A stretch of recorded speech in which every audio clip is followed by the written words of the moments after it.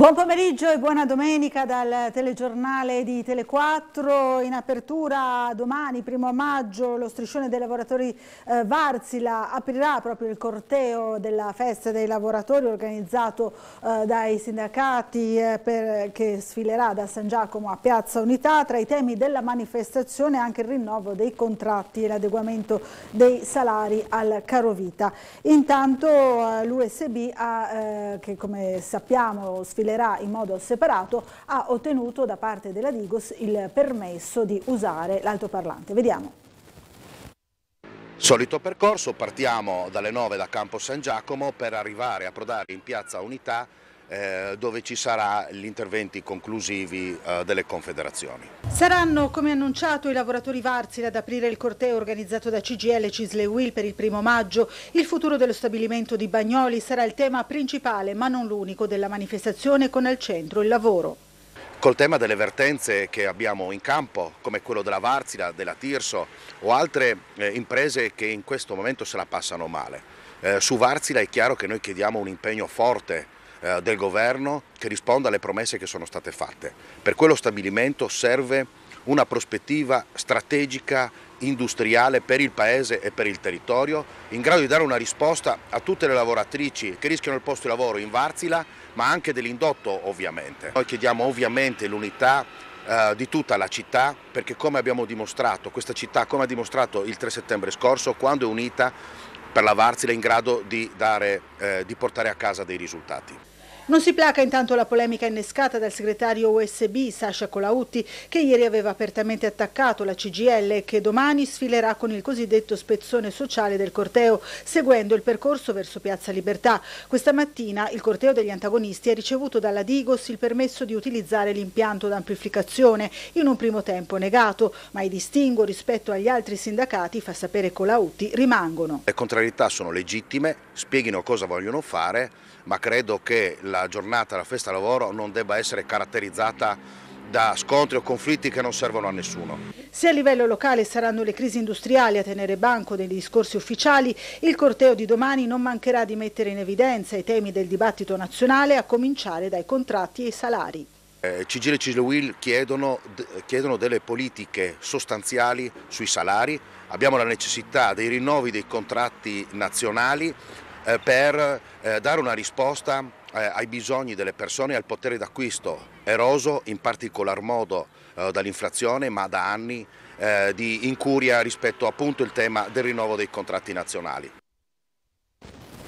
La cronaca, l'aeronautica militare ha espresso cordoglio per la morte del capitano Alessio Gersi delle Frecce Tricolori, morto insieme con un parente in un incidente con un veicolo ultraleggero. E ha reso noto che è stato annullato il tradizionale evento del primo maggio a eh, Rivolto. Eh, il parente appunto di Alessio Gersi era Sante Ciaccia di 35 anni, eh, si tratta di un parente della moglie del pilota del velivolo, il capitano dell'aeronautica Alessio Gersi che era dal 2018 componente delle Frecce Tricolori colori, secondo quanto si è appreso, Gersi e Ciaccia stavano facendo un sorvolo serale di qualche minuto per ammirare il paesaggio montano. Si trattava quindi di un volo di svago. Um, ora ci colleghiamo con la sala operativa della Polizia Locale per vedere qual è la situazione del traffico in città e anche per parlare eventualmente, per tornare sul corteo, sui cortei di domani eh, per la festa dei lavoratori. Abbiamo al telefono il tenente Luisa Mastracchio, buongiorno. La ringrazio per tenente, sono ispettore capo. ispettore capo. grazie, il... grazie comunque. Va bene, Senta. è sempre apprezzato, no? Immagino grazie, sia più... sì, sì, assolutamente, assolutamente. Buongiorno a lei e ai telespettatori. Allora guardi, eh, i colleghi del turno smontante mi riferiscono tutto sommato mattinata abbastanza tranquilla con interventi di routine, niente di drammatico, ecco diciamo. Ehm, per quanto riguarda la giornata di oggi posso segnalare che nel pomeriggio, verso sera 17.30, ci sarà l'incontro, la partita di pallacanestro il, presso il, appunto, il Palasport di Via Flavia. Eh, poi ancora eh, alle 18.30 c'è una, 19 inizierà praticamente, una processione che partirà da Piazza Vecchia della chiesa Beata Vergine del Rosario, farà le, le zone là, limitrofe alla, diciamo, alla, alla chiesa, ecco, diciamo, quindi un percorso piuttosto piccolo. Uh, poi eh, posso anticipare per domani, come ha detto bene lei, eh, ci saranno diciamo, due cortei, il primo quello diciamo, clou quello maggiore, eh, che mh, riguarda appunto il eh, rione di San Giacomo. Mm. Allora, eh, dunque, mh, sì, partirà da Campo San Giacomo, eh, aspetta, scusi solo un attimo, sì, verso le ore 9, ecco. dovrebbe partire da Campo San Giacomo, interesserà le vie Caprimo, Lino Avento, Garibaldi, poi giù per, per Barriera Vecchia, Carducci, Oberdanghega, Roma, Valderivo, Cavour e Riva 3 novembre con arrivo in Piazza Unità d'Italia. L'arrivo è previsto verso le ore 11. Ancora una cosa, non c'è solo questo corteo domani, ce n'è anche uno diciamo, più piccolo il quale con un ritrovo alle ore 9 ehm, a Opicina presso il monumento ai caduti, poi il corteo verso Piazzale Monterè e fino, da qui fino alla chiesa di Prosecco. Ecco, questi sono gli eventi della giornata di domani, ecco, casomai non ci sentiamo. E un saluto, restituisco la linea. Grazie, grazie, buon lavoro e buona giornata, buona domenica anche a lei e ai suoi colleghi. Grazie altrettanto a voi. Salve. Grazie, grazie, buona giornata. Allora, eh, un'altra attività della polizia locale qualche eh, settimana fa il nucleo di polizia giudiziaria ha ricevuto la denuncia di un cittadino per danneggiamento del suo veicolo in sosta. Affacciato dal suo appartamento in zona San Vito aveva notato un uomo anziano che dopo essersi avvicinato all'automobile ne incideva tutta la fiancata con un oggetto appuntito. Il proprietario con grande prontezza di riflessi è riuscito però a riprenderlo col cellulare e eh, durante la denuncia ha consegnato il video alla polizia locale quale elemento di prova. Gli investigatori hanno acquisito sul territorio informazioni su possibili sospetti effetti il confronto con le immagini del video hanno permesso di focalizzare l'attenzione su uno specifico individuo, un uomo di 80 anni che è stato subito convocato nella caserma di via Revoltella. Eh, questi di fronte alle evidenze dei fatti ha ammesso le sue responsabilità, da qui la denuncia per danneggiamento aggravato. Il Conservatorio Tartini festeggia 120 anni d'attività, tanti gli eventi in programma quest'anno, oltre 150 concerti per celebrare lo storico istituto. Vediamo. Il Conservatorio Giuseppe Tartini di Trieste festeggia nel 2023 i 120 anni dalla sua nascita e celebrerà questo traguardo con oltre 150 concerti in media due settimane, una primavera densa di iniziative come la partecipazione al Mittelfest e al centenario del Teatro Verdi di Muggia. Il 3 maggio invece al Teatro Rossetti ci sarà l'esibizione proprio in occasione dei 120 anni del Conservatorio. 120 anni sono tanti, sono tanti, non posso eh, che eh, complimentarmi con chi prima di me ha fatto crescere questa struttura, che non è più una struttura esclusivamente musicale, non è più pur essendo uno dei 13 conservatori storici, eh, non è più solo musica, è attrazione, attrazione per chi? Per studenti, per docenti, che non sono solo italiani, non solo, solo triestini, ma sono, eh, vengono da tante parti eh, del, del mondo. Mi piace ricordare una cosa, eh, recentemente il Tartini è diventato centro di accoglienza, tramite Erasmus ma non solo, eh, ha prestato attenzione, purtroppo la guerra in Ucraina, o Ucraina che dir si voglia, sappiamo tutti cos'è, e ha accolto eh, parecchi studenti provenienti da lì, studenti che non hanno trovato soltanto eh, accoglienza dal punto di vista musicale e didattico, ma hanno trovato accoglienza dal punto di vista umano. Un gioiello verde in centro città, così il sindaco di Gorizia Ziberna definisce il parco che nascerà nell'area verde della valletta del torrente Corno. Vediamo.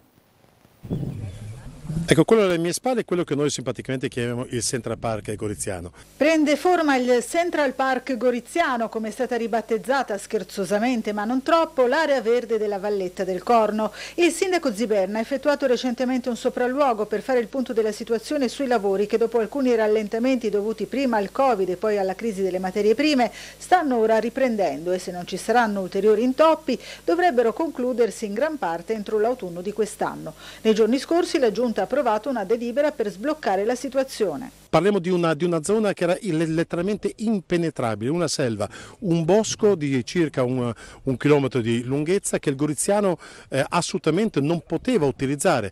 Oggi sarà un luogo di ritrovo per tantissime famiglie con tantissime attrezzature, dallo svago allo sport, il eh, gioco, occupazione tempo libero, dai bambini agli anziani. Davvero una cosa stupenda, peraltro già la prossima estate il tratto più vicino al confine sarà attrezzato, percorribile e illuminato e progressivamente finiremo i lavori anche in questa zona. Parliamo di un'opera molto importante, parliamo di 16 milioni di euro a base d'asta e un polmone verde che oggettivamente altre città non hanno e ci sarà perciò un motivo in più che arricchisce di appeal in Gorizia. A parlare più in dettaglio del cantiere l'assessore ai lavori pubblici Sara Filisetti. Eh, recentemente è stata approvata in giunta mh, la variante eh, nella quale sono previste ulteriori opere di riqualificazione del, del verde e eh, riqualificazione urbana è prevista la realizzazione di un um, campo, di un pump track, di un uh, skate park e l'implementazione dei percorsi ciclopedonali che saranno tutti completamente illuminati, verranno realizzati degli ulteriori ponti e uh, nota fondamentale una galleria che consentirà di collegare le due parti del parco e sarà posizionata in corrispondenza del, del Viale Oriani. La Carnia abbraccia Trieste, il titolo della manifestazione che ha invaso pacificamente questa mattina Piazza Unità. Vediamo.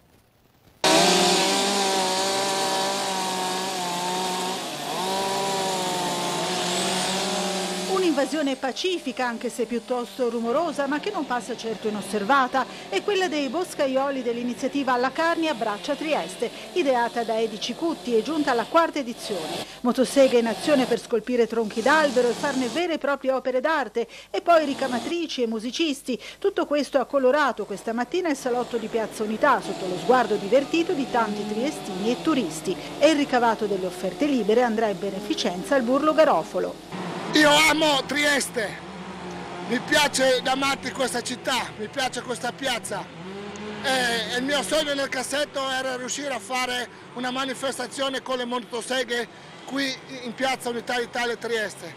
Ne ho già fatte tre, due su sul bosco distrutto di Alvaia, sul, a Sutrio sullo Zoncolan e una a Lignano, ad Aprilia Marittima.